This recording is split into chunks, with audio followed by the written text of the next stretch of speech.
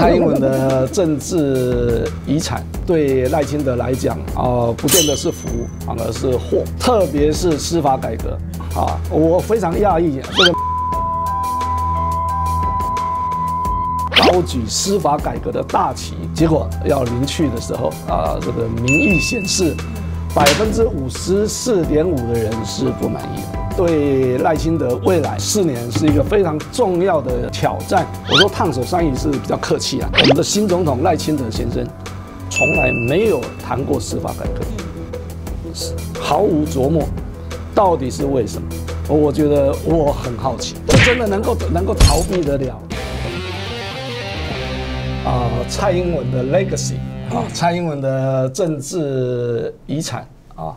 那，事实上有相当的一部分，啊，对赖清德来讲，啊，不见得是福，反而是祸啊。所以这三大三大块是负债嘛？特别是司法改革，嗯，啊，我非常讶异，这个民众在司法改革上面有这么强烈的反应，对，这个是不会假的，嗯，啊，我先从司法改革讲起，这个 可能是最近一阵子哈，这个司法界事情出了很多哈。那法官非常优秀，呃，年轻有为的法官轻生，还有这个资深的法官在工作的时候啊，他嗯失去意识，对，然后到现在还昏迷不醒，还有书记官过劳而死，这这几这一些当然都是 目前发生的一些事件，但显然啊，重新燃起这个司法界。啊，甚至扩及到整个社会大众对司法的观感，觉得呃，再回想起来，蔡英文总统从一上任的时候高举司法改革的大旗，呃，民众这个当时掌声是最大的呃一一个主张一个诉求，大家都说哇，那啊这个是非常好的司法改革，结果到最后。啊，要临去的时候啊，这个民意显示，嗯，百分之五十四点五的人是不满意的。对，百分之五十四点五，那是一个很高很高，远远超过半数的一个。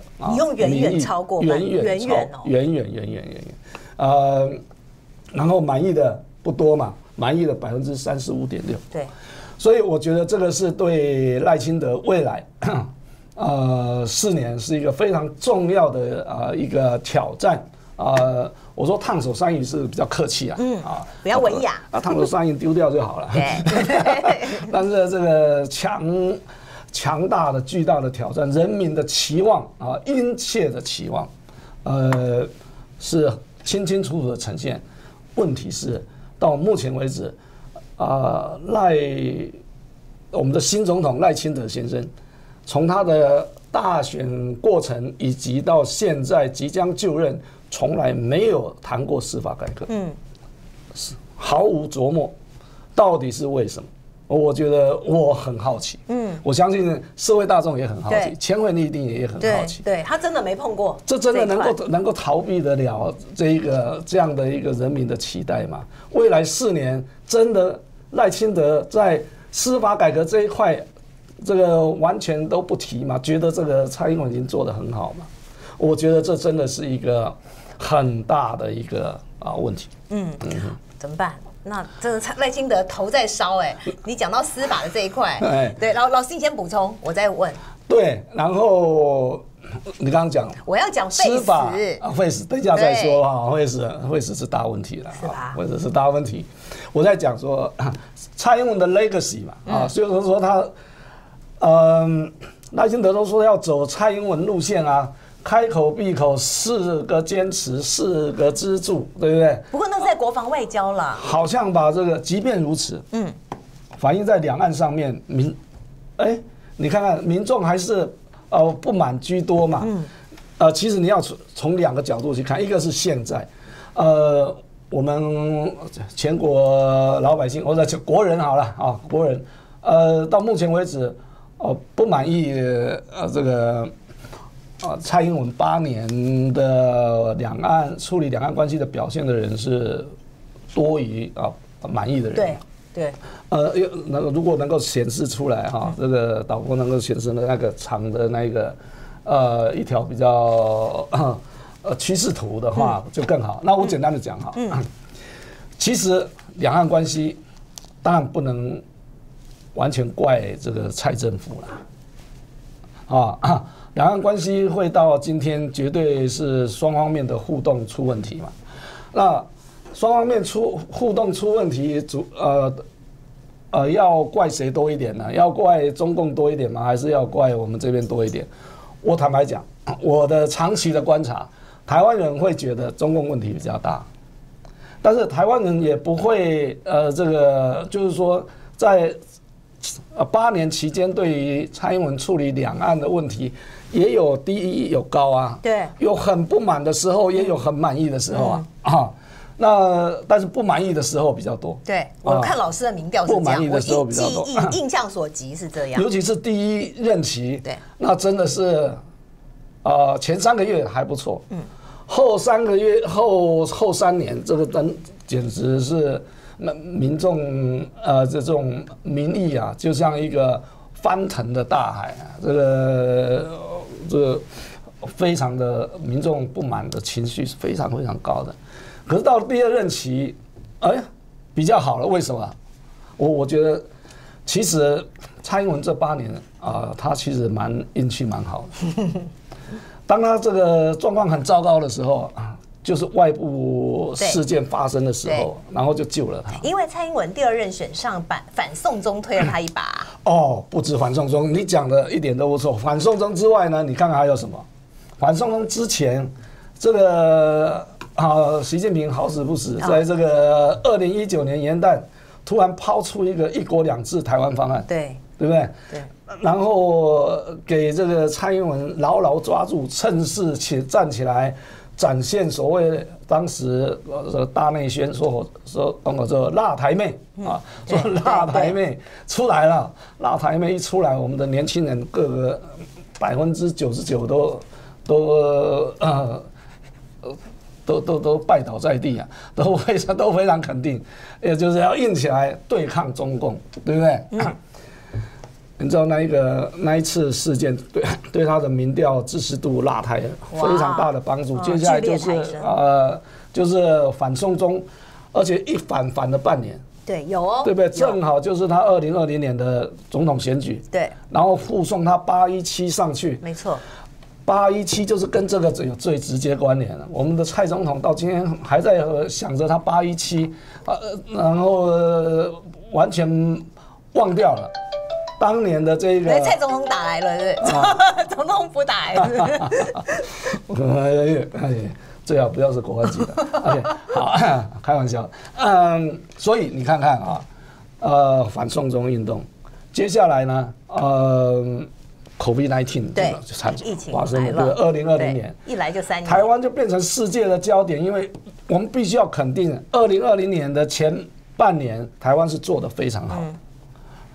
就没有没有什么人没有死人嘛，对，然后控制的对控制的非常好，全世界都在问说，呃，奇怪为什么台湾可以控制那么好？所以呃，当然水涨船高，总统也沾光啊。是的。然后接下来呢，三年的疫情，当然从二零二一到二零二二二，它是焦头烂额了啊，因为疫苗的关系啊等等，这个防疫表现啊等等，开始民众有怨言了。但扣除这些来讲，COVID-19 三年。是事实上是呃让蔡英文呃在获得世界的关注，嗯，世界的焦点在在他身上。对，接下来这是什么东西？接下来就是 俄乌战争嘛。嗯，俄乌战争一打不得了，全全世界开始不但关心乌克兰，也关心台湾啊。嗯，所以你说呃为什么蔡英文在这个那几年？好像这个外交表现很多很多呃国人就觉得哇他表现不错很亮眼，其实都是外在形式的改变嘛。他他其实做的并不多。我坦坦白讲，在这之前，其实民调也显示出来，他第一任期的外交表现，民众大多数是不满意的。对，数字会说话嘛，对不对？然后到后来中美交恶，然后其中一个当然一个很大的关键是中共。二零二二年八月初环台军演，嗯，我想只要环台军演一发生，就是助攻了，那就是这个，这这个就是整个台湾人就那种自然而然就团结凝聚起来啊。所以你看到后半段跟前半段是差异天壤之别，前前半段当然都是相当程度都是靠蔡英文带着他的执政团队在冲刺的，但是冲刺的结果是不好的。嗯，后判断哎，外在形势改变了，他就哇，这个满意度高到吓死人。好啊，那那但是呢，八年总是过去了。嗯啊。他八年里面，事实上我们做过七次的这一个调查，他有三次是被当当掉的。对，有啊，直接用当掉。那四次被被被人民当掉，那有四次是过关的。到了最后要下台的时候，人民又让他过关。所以台湾人民之敦厚之这个呃之古意哈高义了哈温暖。包容啊，这个真的是台湾人，真的是不得了，这么 让他留下一个美好的下台的身影，嗯，对不对？对，他是安全下庄了。但是呢，嗯，不能因为这样你就完全没有看到说，那接下来赖清德接了他的这些呃这些的所谓的。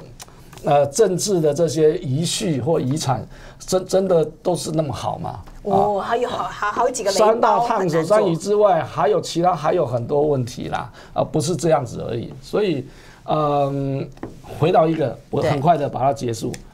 蔡英文路线，如果你说在两岸上面，呃，其实应该对。赖清德来讲，应该是个忧喜参半啦。嗯啊，你走蔡英文路线，可是你要知道，目前如果论两岸，多数人是不满意的。嗯，那你坚持走什么蔡英文路文路线？那你赖清德路线是什么？哎，赖清德赖清德路线不见得要等于台独路线啊。赖清德路线也可以在蔡英文路线的基础之上，让两岸不要那么紧张，那么那么那么僵嘛，对不对？对，你要有一些。创造性转化的一些作为嘛，对，如果你都没有的话，你 AI 内阁 AI 什么，对不对？那那你就啊，你在怎么样在两岸上面 active and innovative？对，那这个就是要好好想想，对，展现给人民看看。最有感的胶原蛋白生态，即日起快点购全台独家贩售，养颜美容，增强行动力，打造有感每一天。小包装好携带，成分天然零添加，无西药，不含重金属，安心食用。两款包装给你满满胶原蛋白，桃红包装助养颜美容，蓝色包装增强行动力。心动了吗？现在就上快点购，一起健康下单吧。